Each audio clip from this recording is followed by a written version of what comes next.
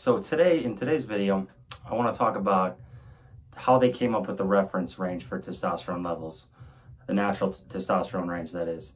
So there are four different models, but the main one I've seen has a basically a scale from 264 to 916 nanograms per deciliter. That's the the normal scale. And obviously, like I feel, you know, I don't feel that that way about this.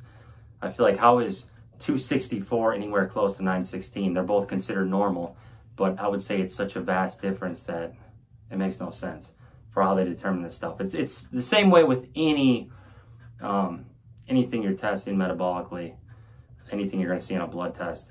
You got to kind of take the reference ranges with a grain of salt because they're going to be all over the map. And it's the same way with LDL cholesterol, where they can say like, you know, they used to say you need to be below 130, then they bumped it down to 120, and then they bumped it down to below 100. So it's all very, you know, subjective. It's all constantly tweaked um, depending on pharmaceuticals, what they want to sell, and things like that. So take that with a grain of salt. But this is the scale I've always seen.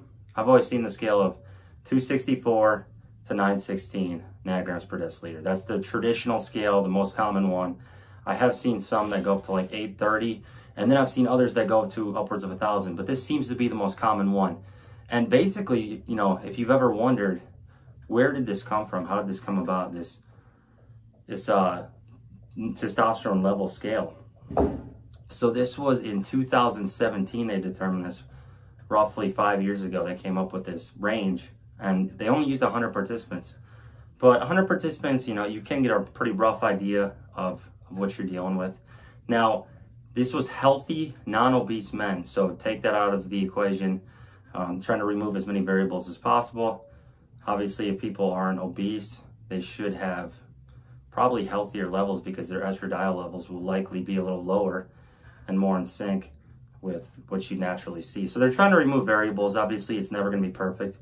Um, the age range was 19 to 39 years. So fairly young men, albeit the testosterone level, which we might see as a 19 year old, could be drastically different from what we'd see at 39. Again, that's a huge variable, so that can play a huge role as well. Um, and they got the two and a half percentile, fifth percentile, 50th, 95th, 97 and a half. So those ranges they talk about here, the, the lowest two and a half percent of the study, the two and a half percentile, had a testosterone level, a total testosterone level of 264 nanograms per deciliter. So I am somewhat skeptical when I hear a lot of people talk about their testosterone levels being, you know, 180, 200, things like that, because right here in the study that they used to come up with the natural test ranges, 264 was the two and a half percentile, the bottom two and a half percent, because it's very easy math. There's 100 participants the two and a half percentile is 264. Um, the fifth percentile, so the fifth percentile was 303 nanograms per deciliter for test level, which again is fairly low. So if you're in the if you're on the 300 scale or lower as far as your test levels, you're in the bottom, you know, five percent basically is what this this is saying here. Um, the 50th percentile, this is very interesting as well. 50th percentile was 531 nanograms per deciliter. So according to this scale, based on the math they did, 531 would be your kind of median range for testosterone, which, you know, we could say is your average rating in a healthy, natural person from the ages of 19 to 39. 531 would be the average test testosterone level. So that's the 50th percentile. And then where it gets really interesting, because I have seen, um, I have seen blood work before where so uh, natural lifters or natural people had a test level of like 900. Well, 916 would put you at, actually, let's even, let's back it up further. The 95th percentile, what is the test level? 852. 852 nanograms per deciliter is the 95th percentile. So, so pretty much if you're in the, if you're 800 plus test level, you're at the very top. You know, one out of 10 people would have that. And then the 97 and a half percentile was 916 nanograms per deciliter. So this goes to show that, you know, we're not seeing test levels, natural test levels above 916 really, 930. So anytime, even if I'm seeing something in the 900s, basically that you're telling me then that that person is a complete genetic freak where their test levels are that much higher than everybody else. So I don't know about that. That's reason to be doubtful when you see such high testosterone levels because it's either an extreme outlier or something, you know, something else is going on. So you have to consider these things. But this is where the scale came from. This was in non-obese population of European and American men. And that was off of 100 people in 2017. So that's a pretty interesting one. Um, and that's really where the reference range comes from. Now, I've looked at tons of blood work over the years, and typically I've seen guys five, 600 range. Hold on, let me. I've seen them in the five, 600 range. We got a dog barking. I don't typically see seven, 800 too often, although I have seen it in a few but that is a very high level. And this kind of goes to show you in the middle, you got 500. At the very low end, you got 250 to 300. And the very high end, you got 850 plus. So take that with a grain of salt. That's only 100 people. I believe there are some other studies out there. So let's see if we can find some other ones here. I'll have to pull them up probably in later videos.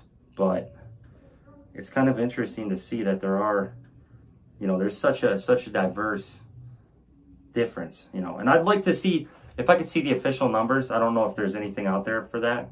You know, we could pull up and see exactly what everyone was at. But I think it's pretty interesting the discrepancy there. That kind of gives you a rough idea of where people are at and casts a shadow of doubt when you see people at that very high level of 8, 850, 900 and they're claiming natural. It's very possible according to this but it's a very, very low percentage. It's like one in a hundred. So you got to take that also with a grain of salt. But it's just, I thought I'd share this. This is kind of where it comes from when you see it on your blood work as far as the normal population, the reference range. This is where we find it. Now, I am probably going to get things checked again in a couple months. I do it every three or four months using Marek Health. You can use my code Pete. Um, I don't get anything from them. I just literally think their company's good. It's Derek's company. But that one is, uh, my test level the last time, 271. The highest I've hit in the last two years is 409. I'm hoping, you know, to continue to rebound it. But the thing about testosterone levels that's interesting is I still feel quite good. Like I don't feel bad. I feel I get insane pumps in the gym. Um, strength continues to rise, albeit much slower than when I was on anabolic steroids. But I don't think testosterone levels are the end all be all. Um, this doesn't even account for free testosterone either. That would be a whole nother thing to look into. But generally, when they're giving out prescriptions and looking into it, doctors solely look at free or total testosterone a lot of times. But really, like I said, testosterone levels not the end all be all. I uh, I have had fairly low levels since I came off. There's been some fluctuation between 250 and 400, like I said. But overall, I still have a perfectly normal libido. I have uh, my strength levels are going up. Like I said, everything. I have no bad symptoms, no low energy levels um, even though I don't get much more than six hours of sleep. So I really don't think you can necessarily read too much into, into testosterone levels, but it is something interesting that's just another metric you can look for on your blood work. But if I were to get things checked, total testosterone, free testosterone would be the way to go. Um, and you get a pretty good picture.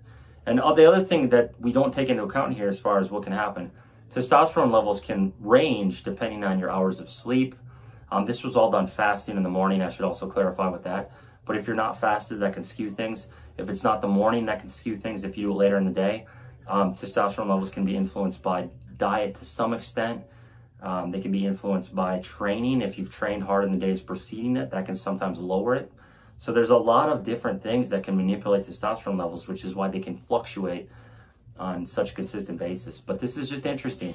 And um, I'm going to keep some studies going. I'm going to look at some other things. We're going to do some deep dives here. And I'll keep posting training footage. If you guys like the video, comment, subscribe, give it a thumbs up. Um, appreciate the support. We'll keep rolling with everything.